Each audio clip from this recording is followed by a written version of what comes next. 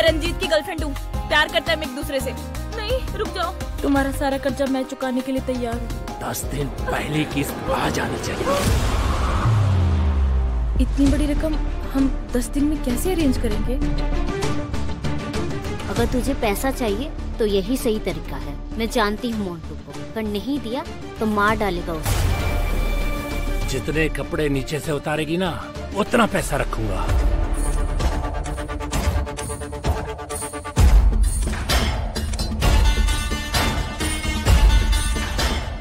इतने सारे पैसे कहाँ से आए?